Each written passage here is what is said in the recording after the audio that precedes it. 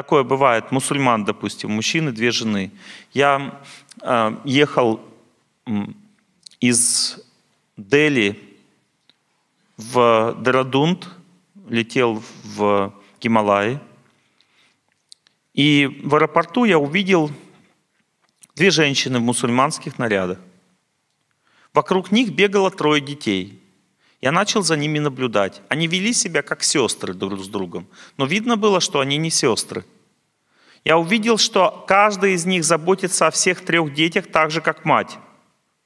Каждый из них, хотя один ребенок был от одной женщины, она была младше, видно. Двое детей было от другой женщины, она была старше. Та женщина, которая была старше, она чуть-чуть построже вела себя с той женщиной, которая была младше. Но та принимала ее такую позицию. И они друг с другом были в очень тесных отношениях, как сестры, понимаете? Они приняли такую жизнь. Я сразу все понял, что они две жены одного человека – которые сейчас с ними не присутствуют в это время. Они переезжали вдвоем с тремя детьми. Можно так жить или нет? Можно, если женщины такую жизнь принимают. А легче женщинам или тяжелее так жить? С точки зрения воспитания детей, делания дел в семье и все прочее намного легче. С точки зрения конкуренции, кто будет спать в постели – если женщины способны не иметь в своем сердце такую конкуренцию к своему близкому человеку, к сестре, тогда в этом случае проблем никаких нет. В древней культуре, если мужчине хотелось вот сильно две-три жены, ему очень сильно рекомендовалось брать сестер.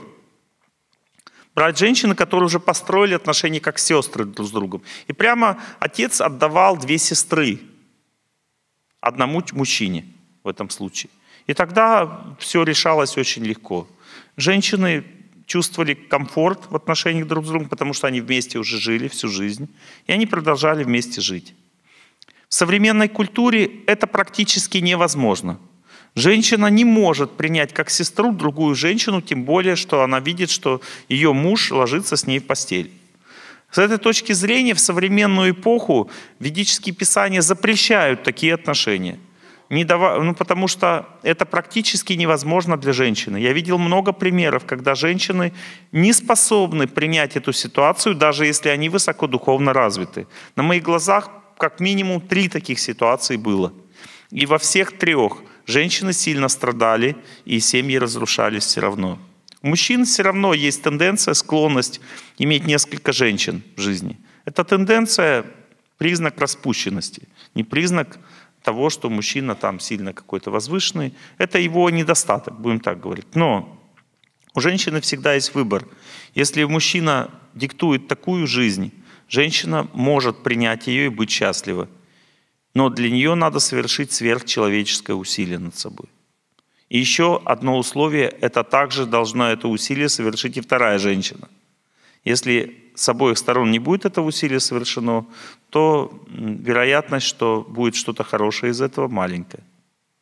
Как вести себя женщине, которой мужчина сказал, что у него будет вторая жена, сражаться за свой брак?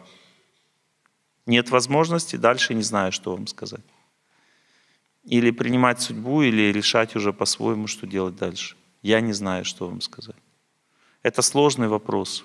Но я вам сказал свой опыт, что бывает и так, и так. Бывает, что женщины счастливы в таких отношениях, а бывает, что нет.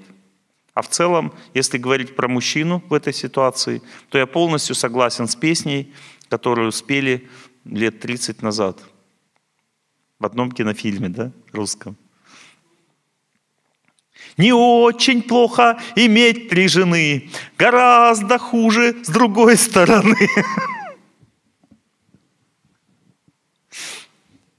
Да? Но с другой стороны, при таких делах столько бед и хлопот. Ах, спаси Аллах!